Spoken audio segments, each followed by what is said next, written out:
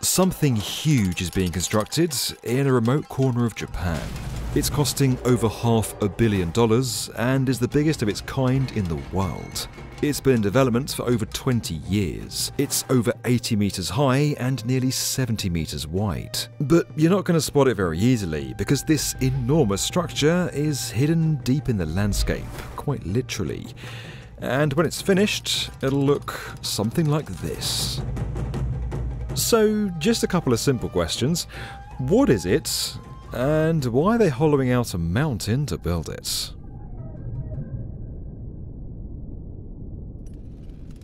Okay, now before we go any further with this video, we're going to need to do a quick science lesson, so notebooks open and pay attention at the back. Our universe is made up of tiny subatomic particles such as quarks, bosons, and smallest of them all, neutrinos. Neutrinos act in strange ways. They fly through space, but don't interact with any other matter. Billions of them move through your body all the time without having any effect on you at all. Now, if we understood how that happened, it could fundamentally change how we think about the universe. But as you'd probably guess, with the smallest particles in the universe, they're quite hard to spot. One way of detecting them is by smashing larger particles together at high speeds and recording the reaction. That's what's happening over at the Large Hadron Collider in CERN. Another way to observe them is just by listening, which is about as easy as it sounds. Ideally, you need somewhere remote, quiet, and very peaceful. Fortunately, Japan is pretty good at that. This is Kamioka, a small town in the Japanese Alps, and this is Mount Nijugo, home to the Hyper Kamiokande. It's a $600 million science experiment led by the University of Tokyo and supported by researchers from 21 countries. When complete, it'll be the largest neutrino observatory in the world and a breathtaking feat for Japan's construction industry. But as incredible as it is, it's actually not the first of its kind. This is going to be the third Kamiokande in this region.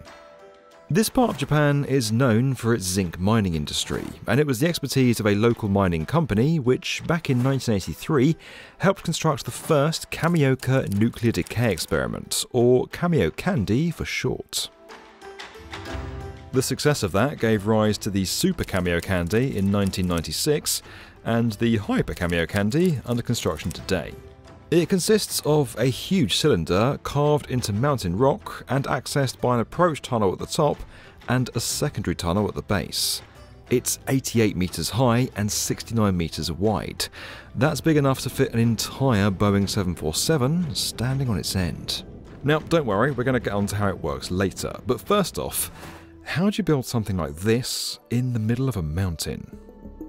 Well, plans for the Hyper Kamiokande go back to 1999. Then, after more than two decades of development, work began in May 2021 on the access tunnel. Using a drill and blast technique, it took just nine months to excavate the 2 kilometre approach tunnel, which was then sprayed with concrete to create a smoother and more stable surface. This approach tunnel leads to the centre of what's going to become the roof of the observatory.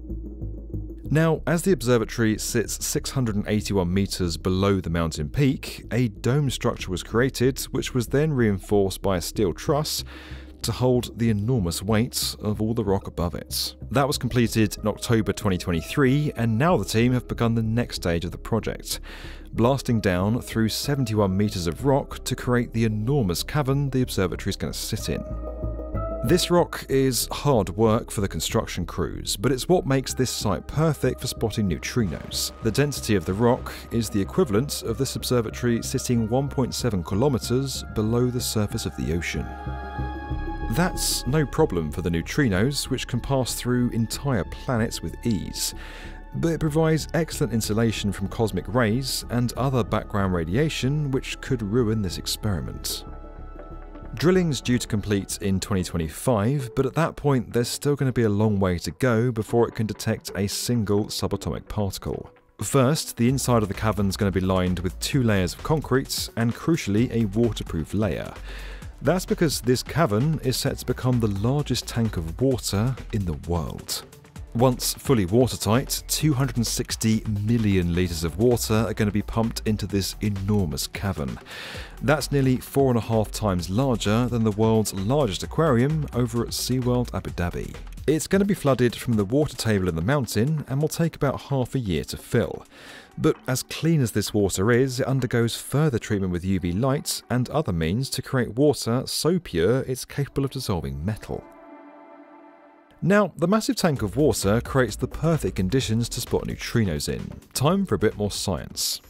When neutrinos pass through the tank, occasionally they'll collide with electrons, giving off a weak glow known as Cherenkov radiation. And that is what this whole thing is being constructed to observe tiny glimmers of light in a giant cavern full of water.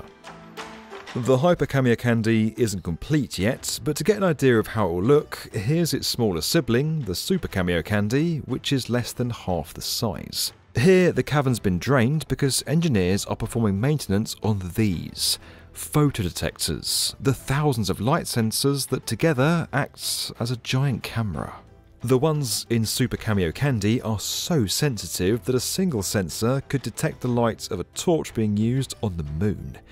Together, they act as a giant camera that picks out the faint traces of Cherenkov radiation created by reacting electrons. 40,000 of these are being manufactured for the Hyper Kamiokande, each one almost twice as sensitive as their predecessors, and specially designed to withstand the enormous weight of 260,000 tons of water. Construction is expected to fully complete in 2026, and the Hyper Kamiokande should start detecting neutrinos and performing other experiments by 2027. Now, as cool as all of this is, you might be forgiven for thinking, so what? After all, what has particle physics ever done for me? What have the Romans ever done for us?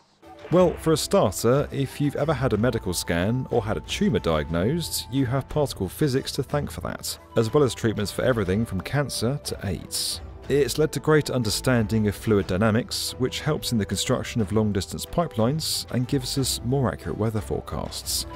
And let's not forget that it was for a group of particle physicists that Tim Berners Lee developed a new system for quickly and efficiently sharing information a system which is enabling you to watch this video right now. It's probably pretty fair to say that this is one science experiment that's definitely going to live up to the hype. You can learn more about the Hyper Kamiokande and other topics on our channel over on the World's Best Construction podcast, available right now wherever you get your podcasts. And as always, guys, if you enjoyed this video and you want to get more from the definitive video channel for construction, make sure you subscribe to the B1M.